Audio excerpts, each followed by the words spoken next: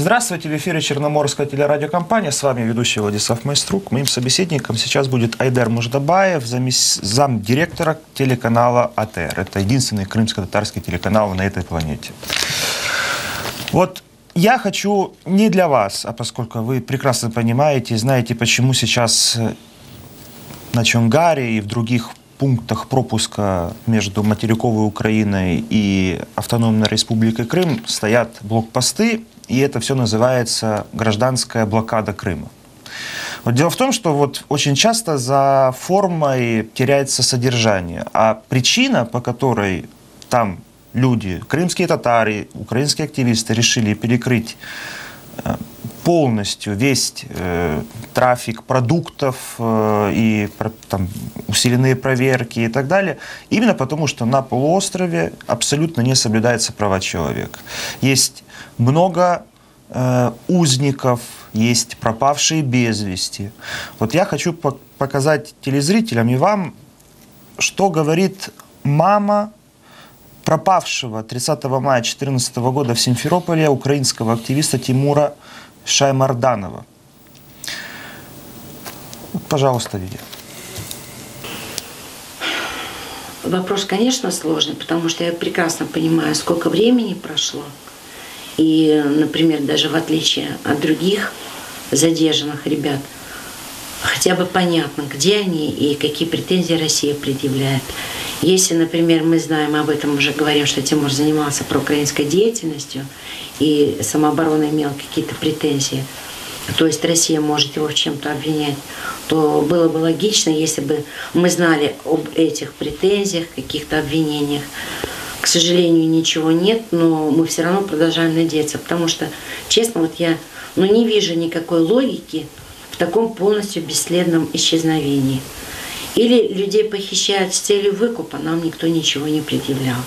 Если задержали где-то как-то, то тоже кто-то должен что-то сказать.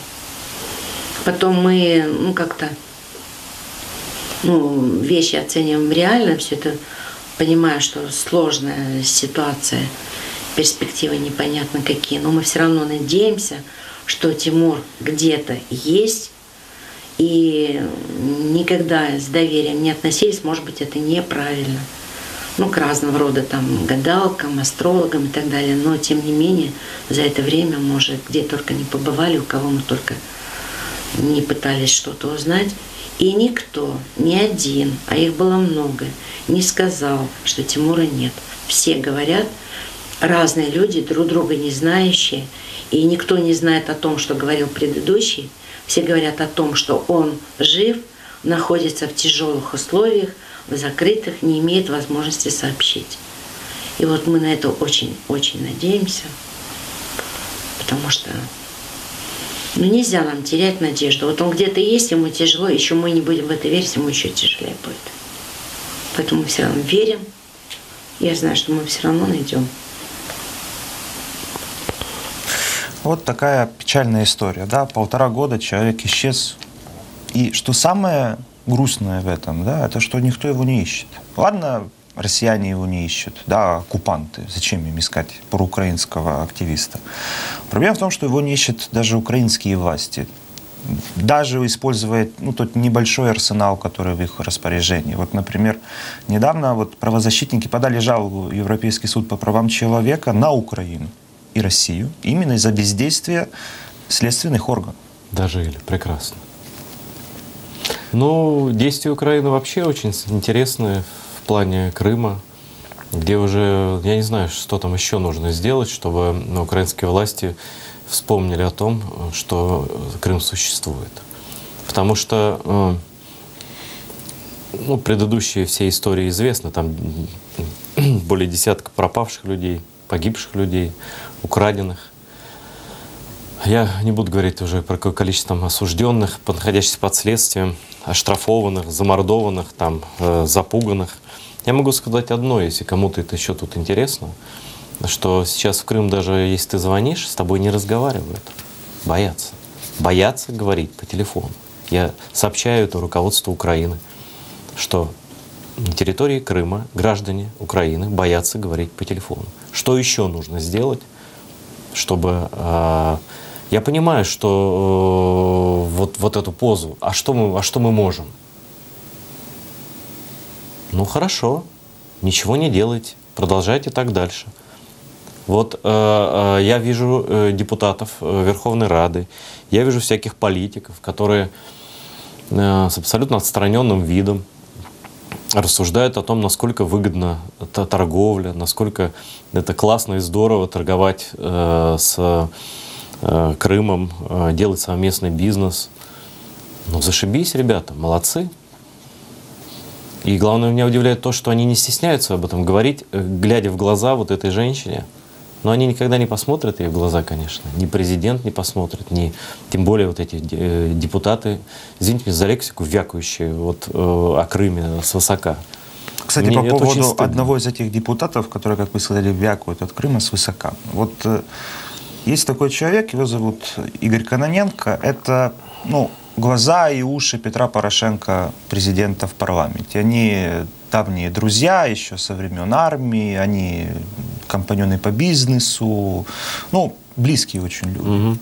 И вот что сказал Игорь Каноненко по поводу отмены закона о свободной экономической торговле, ну, зон торговли с Крымом. Да? Я, сколько помним, одно из основных требований тех, кто блокирует это отмена этого закона. Президент в свое время, между прочим, сказал, что, скорее всего, этот закон будет отменен. И ну, вот что буквально вчера сказал его ближайший соратник. Отмена закон, законопроекта о свободной экономической торговле с Крымом, по сути, де-факто будет означать, что мы отказались от этой территории. Поэтому здесь нужно искать какие-то другие политические конструкции для того, чтобы, с одной стороны, усилить там давление, и определить те позиции, которые есть по крымским татарам. С другой стороны, на этой территории живут граждане Украины, которых мы хотим вернуть. Все, все понятно. Э, если это слова, э, э, как бы позиция фракции президента, то мне все абсолютно ясно. Значит, крымские татары пущены в расход. С ними можно делать все, что угодно вообще. Правящей партии это до фонаря все. Вот. А все, все, вся эта риторика слезливая про крымских татар, это такой, э, такие ритуальные э, танцы какие-то. Это я подчеркиваю, если это позиция э, фракции президента, то остается только развести руками. Но тогда, значит, э, вот как ребята будет. Тогда, значит, крымские татары начнут обращаться не к Украине уже, а к мировому сообществу. Тогда, значит, крымские татары, я не знаю, что они должны сделать. Приковать себя каким-нибудь э, наручниками к Европарламенту. Может быть, сжечь себя на какой-то площади. Что нужно сделать, чтобы э, эти люди перестали вот так цинично э, отзываться о том, что происходит в Крыму? А я, а я знаю, о чем они думают. Они, э, ну, во-первых, первая мысль это просто забыть про Крым навсегда. Ну, это все остальное, в принципе, риторика. Я допускаю, что у кого-то, я не знаю, у этого депутата или у другого, есть коммерческий интерес, связанный с сотрудничеством с нынешними крымскими властями. Ну, это же не на пустом месте, там торговля такая шла. Там шел дележ, распил половину туда, половину в Киев. Mm-hmm. Это же понятно. Вот. Я не, не, не, не, не знаю, ничего про него не знаю, э, имеет ли он там коммерческие интересы. Но э, что очень симптоматично, что, ну, насколько просто мне рассказывали Нур Ислямов, я, в общем, э, не являюсь предметом э, интереса этих людей. Я журналист, а с ним разговаривали предприниматели, которые предлагали особые условия, предлагали там, как, ну, ему выгоду какую-то извлечь из этого. То есть люди из бизнеса в политике, они всегда э, так действуют, видимо. Торгаши. Да, они всегда будут действовать так. Они будут искать какую-то прагматичную выгоду, и, в общем-то, что происходит с остальными людьми, какие-то там слезы матери. Кто она такая вообще сидит там у какого-то шифонера за 100 долларов? Кто она такая? Вот. У нас тут бизнес, у нас тут стратегия. У нас тут... Э, я, я уже много тут насмотрелся этих стеклянных глаз. Вот. Но если Украина не хочет защищать своих граждан, печально, значит, э, страна расписывается в своей недееспособности, и власть расписывается в своей абсолютной, ну, как сказать, если, понимаете, если бы я не, я не представляю себе президента какой-нибудь там цивилизованной страны, у которого, допустим, украли гражданина, и который э, Америка вообще послала бы спецназ, да, например. Но не предпринимать никаких мер, продолжать взаимовыгодное сотрудничество, э, продажу всего, что можно, э, говорить о развитии отношений. Хорошо, Значит, вы просто должны точно сказать, чтобы на вас не надеялись. Сказать, что граждане Крыма, э, жители Крыма, вы нам не нужны. Вы переданы в пользование Российской Федерации и прекратить эту дурную риторику. Просто э, по-честному. Но э, эти люди и на честную риторику не способны. Они будут вот так выкручиваться, говорить, что там целесообразность, каких-то там они потеряют избирателей потенциальных в Крыму там, и что-то еще. Ну вот, гнусно все это слушать и противно. Вы извините за эмоции, я обычно не эмоционален, но я наслушался вот этих вот вещей. Да, да понимаете, что еще? Вот кроме блокады, то есть там, фуры с продовольствием и так далее, и, в принципе, если даже смотреть на международные законы, оккупированные территории должны обеспечиться оккупанты. Но это другой вопрос. По поводу энергетической блокады. Дело в том, что Украина до сих пор продолжает э, поставлять на полуостров электричество. И это как бы вот вопрос тоже. Да, вот на днях были повреждены некоторые вышки, да, которые с, ну, с, с высоким, э, ну, электрические вышки, да. В принципе, такая непонятная ситуация происходит. Вот даже сама блокада, она же ну, не санкционирована, правильно? Грубо говоря, насколько вот мне известно, э, наш сосед по улице Банковой, он не против того, чтобы здесь была, то есть не здесь, а была блокада, да, ну, показать зубы. Но с другой стороны, все, кто принимает в ней участие, они нарушают закон. Да, но... Они, они все преступники но, уже. Но, да, но прекрасная история стоит в том, что все активисты, которые там стоят, являются потенциальными э, уголовниками с точки зрения России. И не только, и Украины тоже, кстати. Ну, классно. Только Значит, в России уже открывают дела, а в Украине нет. Ну, не давайте еще тут Богу. откроем. И не, не дай бог, Будет конечно, прекрасно, это... чтобы крымские татары еще сидели там под уголовными делами, еще здесь. Вот. Э, а про, по поводу электроэнергии я даже не буду ни, ни о чем рассуждать, просто э, все же сказано. Э, опять, видимо, министр-предприниматель, по крайней мере, по своей натуре, я о нем ничего не знаю, да, министр с энергетики, какой у него бэкграунд, я не знаю, он сказал, что это очень выгодно торговать. Ну какие могут быть вопросы вот, вот с этой, как, что у него общего с этой женщиной, у которой, у которой сын пропал? Ему выгодно торговать, вы понимаете, все. И, а так как никаких рычагов у Украины нет, они нехотя из себя выплевывают слова сочувствия, чиновники, нехотя говорят, что э, возбуждают какие-то уголовные дела. Да, это надо все делать, наверное, да, но, понимаете, всегда же видно, с каким настроением что человек делает. Это настроение такое, а, а, а отлепитесь от меня. Я сейчас что-нибудь скажу, в какую-нибудь бумажку напишу, и больше ко мне не, не, не моя претензий, да. Вот, э, а ты, мама, сиди дома, плачь сколько хочешь. Вот, а у нас тут свои дела коммерческие, у нас все классно, мы будем э, заниматься. Еще раз, я не призываю ни к каким вообще действиям. Я не политик, я журналист. Я просто не понимаю, почему политики делают все, что угодно, но не делают ничего физически. Вот про проходят уже месяцы, там стоит блокада. Два с половиной почти. Да, там люди полтора месяца. Полтора, верно. Да, там, а, там стоят люди, там они мерзнут, там они, э, значит, волонтеры какие-то подвозят дрова, что-то еще. Но это как-то где-то там далеко, какие-то там люди, какие-то, черт их там побери, татары, что-то им там надо. А может и классно, что они там стоят. А пусть они там стоят всегда. Ну и что? Мы найдем э, способы, будем возить на завод «Титан» там, через э, другие порты сырье, будем вывозить по-другому. Мы найдем схему, мы договоримся с ребятами из крымской власти, решаем вопросы. Да, фуры эти, конечно, неприятно, что перегородили, но придумаем вариант сотрудничества. И получается, что вот эти люди, которые там стоят, да, э, они враги, получается. С ними борются, их обходят. Да? Они, получается, что они выдвинули требования э, защиты политзаключенных, там, и вот новая волна репрессий, журналистов там мордуют. Значит, запугали всех до того, что по телефону разговаривать уже люди боятся. Детей шугают э, по, по утрам э, под автоматами, водят э, внучку Лили Буджуровой. И ничего не происходит. И все должно оставаться так же.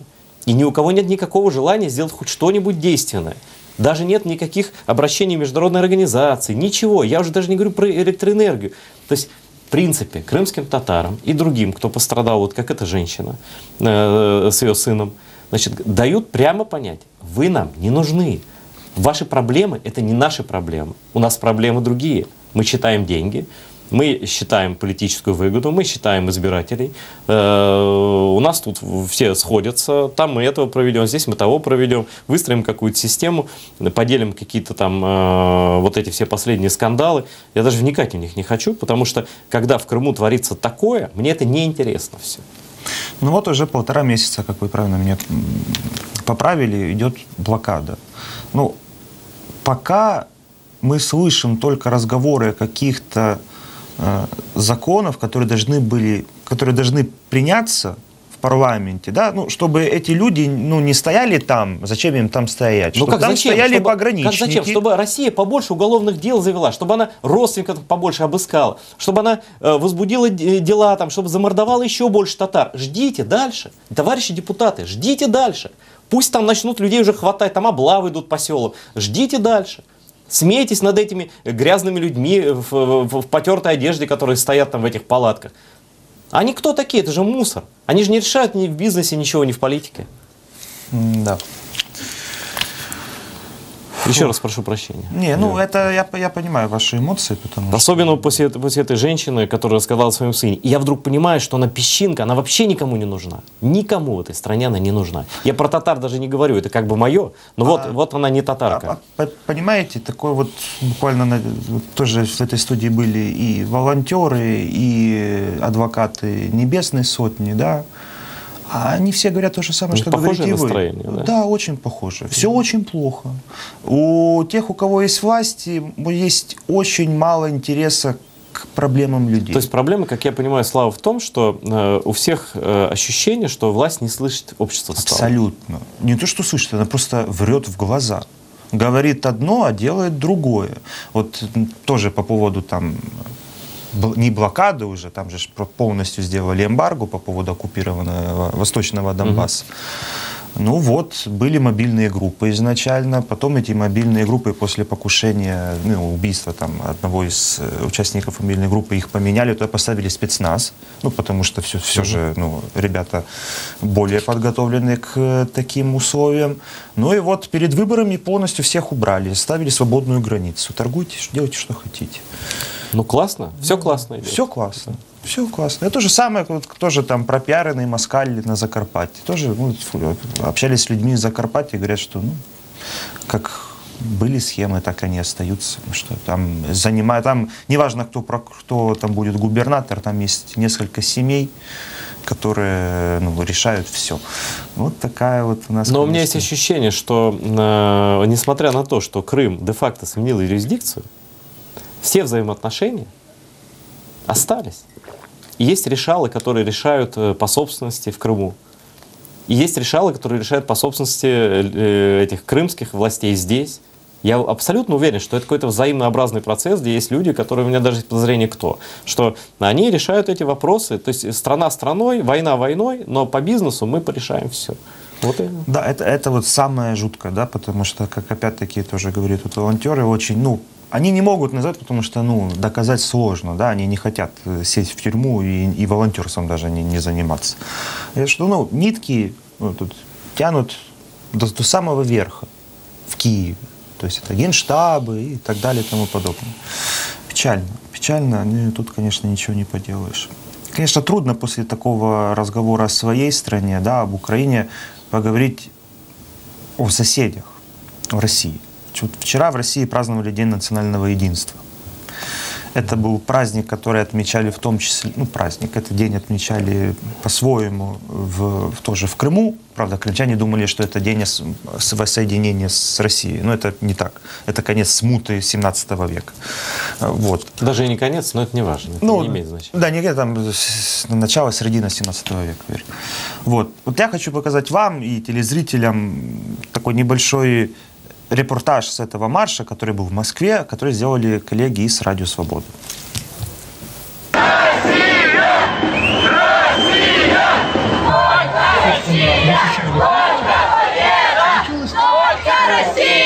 Очень приятно. Первый раз давно не была в Москве. Мы едины. Спасибо вам. ребята. Вам нравится этот праздник? Очень нравится. А вы знаете, Спасибо. что он обозначает? Единство, единство. Это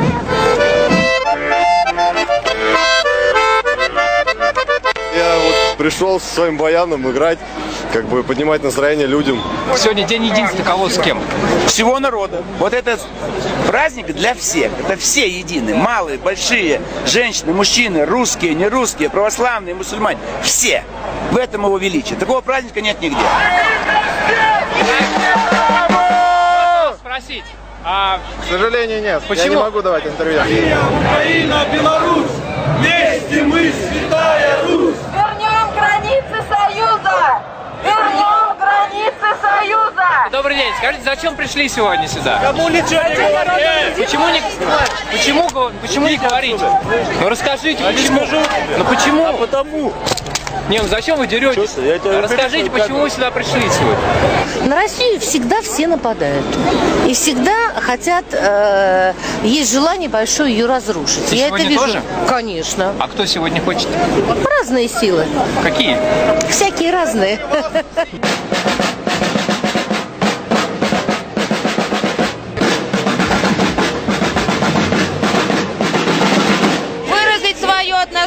К чему? к Путину, к лидеру. А вы думаете, он нуждается в поддержке? У него почти 90% поддержки. Конечно, нуждается в нашей поддержке. А кого еще поддерживать? А он нуждается в поддержке? У него и так 90%. Причем здесь нуждается, не нуждается? Я за него, а они за него. Что еще?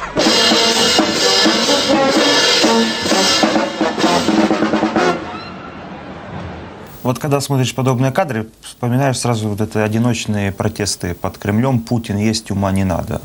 Хотя тут это можно, конечно, банализировать, да, посмеяться, но это я хотел бы вашу оценку вот вообще того, что происходит, происходило вчера и вообще происходит в головах многих людей. Ну, это же такая, как я называю, тайна поля Шинелькиной. Это все за деньги же. Там свезли на автобусах из окрестных областей, раздали там по 300-500 рублей, дали немножко бухла, немножко жрачки на закуску, может быть, бутерброды какие-то всунули. Там же лю- люди даже хотели погулять по Москве, и им говорят, ну-ка быстро в автобус, прыгай, поехали обратно в Тулу. Вся Москва перекрыта. У меня же там вот как раз журналист «Радио Свобода» Лена Рыковцева в Москве, моя коллега.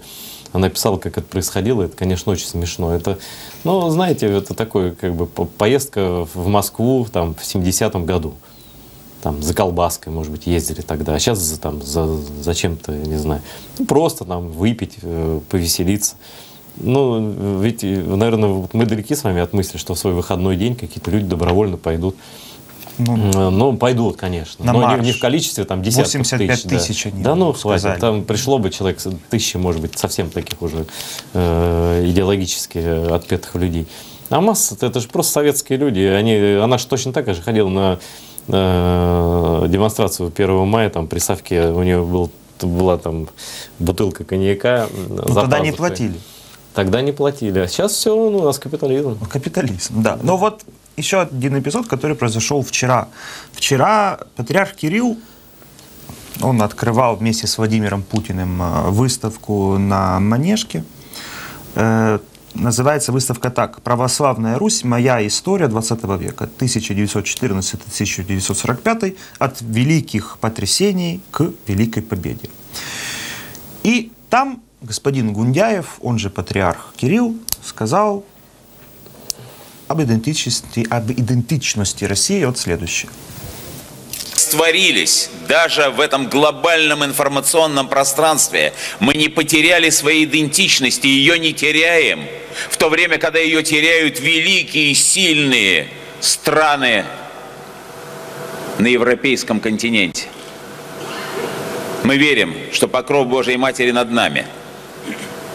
А потом мы говорим всем, и внутренним, и внешним противникам России, оставьте нас в покое. Над нами покров Божией Матери.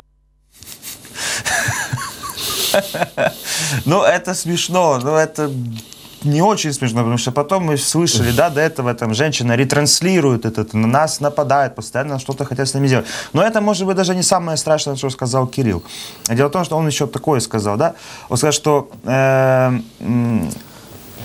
он призвал также не подвергать сомнению успехи государственного руководителя, даже если действия этого руководителя имели злодейский характер. То есть Абсолютно слава подде- Сталину. Я абсолютно поддерживаю его слова. Ужас. И я считаю, что он абсолютно прав, потому что нынешняя русская православная церковь, она основана Сталином. По большому счету. все духовенство было уничтожено прежнее. И новые попы были набраны с помощью НКВД, там, МГБ и так далее. Поэтому это их праздник, это их, э, по сути дела, их первый патриарх э, Сталин, э, создатель нынешней РПЦ Московского патриархата. Поэтому ничего тут вообще удивительного нет. И он тут был абсолютно искренен. Вот благодарностях Сталину и вообще вот этой государственной системе, которая породила эту церковь, которая до сих пор удачно э, паразитирует на э, государственном организме э, при всех властях. А вот что касается, вот мне, мне больше, мне кажется, очень неискренне была вот первая часть речи про, про проклятие западных ценностей. Мы же знаем, что господин э, Гундяев очень долго жил на Западе.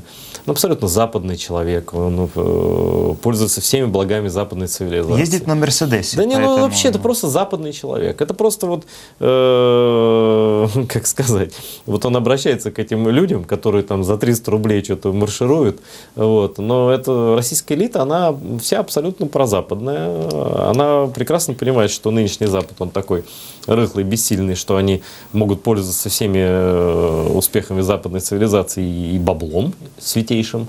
Вот. А остальное население должно, вот как это вот тетушка, э, ходить и искать врагов. Ну, пусть занимается поиском врагов, а мы нормально тут поживем с чуваками.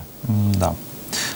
Я вам задам вопрос. Ну, про- просто потому что он мне в голову пришел, мне стало самому интересно, что вы ответите. Вот вы, наверное, видели фотожапы э, Гундяева и Япончика? Не видели? Ну, видел, видел. Фейк, сто процентов. Потому Ну, что так похож. фейк. Конечно, ну, фейк. очень похож. Особенно после того, как послушаешь, что он говорит.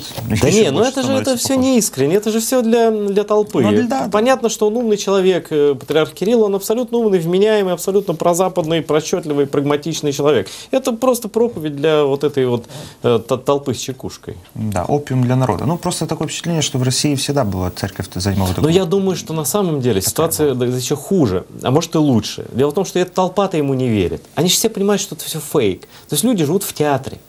Это театр. Одни изображают поддержку э, на демонстрациях, другой рассказывает про борьбу с Западом. Э, приходит домой, у него все там западное, и это приходит домой, у него все там западное. И живут они совсем иными ценностями. А это так- такой театр теней какой-то. Они все понимают, что роли расписаны, просто так надо. И все. Это же было в позднем СССР тоже, когда никто уже не верил. Ну, там все-таки верил кто-то. Но в коммунизм уже не верили, но все-таки верили в социализм. Там. А сейчас так уже, когда все Запад увидели, уже никто ни во что не верит. Это просто уже чи- чистый цинизм, каждый по-своему э, какую-то выгоду от этого приобретает. Ну и на завершение, поскольку у нас осталось немного времени, вот третий год подряд президент России Владимир Путин становится самым влиятельным человеком планеты по версии американского, американского журнала Forbes. Ну, тут интересна даже сама мотивация, по которой они вот решили дать Путину вот первое место. Да? Вот что они пишут. Президент России продолжает доказывать, что он один из немногих людей на планете достаточно сильный, чтобы делать то, что он хочет, и избежать наказания. Абсолютно поддерживаем и мотивацию, и решение журнала Forbes. Он, э, Владимир Путин, абсолютно заслужил. Э, И в каком-то смысле он мой кумир, потому что э, это человек, который абсолютно открытым текстом прямо всем говорит, я вас обманываю, я вас обману еще раз, а могу и третий раз обмануть, и вы ничего мне не сделаете. И пока все идет абсолютно по его сценарию. Да. Ну вот э, нью-йоркский журнал, газета Нью-Йорк Пост, да, вот считает, что Путин сам самый влиятельный человек э, в мире, потому что он помыкает Обамой. Ну, они, в принципе, Ну, это... это, может быть, и как бы рудименты американской борьбы Да. политической. Ну вот они вот вы даже на заголовок. Просто вот мне интересно, вот журнал Forbes, он за кого, за демократов или за республиканцев, и там тоже будет понятно, что к чему. Ну, вот такая картина у нас сегодняшнего дня, картина мира такая. У нас, конечно, в Украине, ну, если год назад я не ожидал, что бу- будут такие настроения. Не, ну я говоря. ожидал на самом деле, потому что любая революция же она всегда э, потом откат Да, происходит. Потому что назад. рев- на революцию делают люди, которые как бы наиболее радикально настроены на перемены, а реализуют-то потом понятно кто. Ну да. Да. Понятно кто. Ну, на- надеюсь, что не будет. Что, что уже даже понятно, что будет, но надеюсь, что так не будет. Поэтому будем смотреть. Спасибо еще раз Айдеру Муждабаеву, замдиректора телеканала АТР, единственного крымско-татарского телеканала на этой планете. А вы оставайтесь с нами.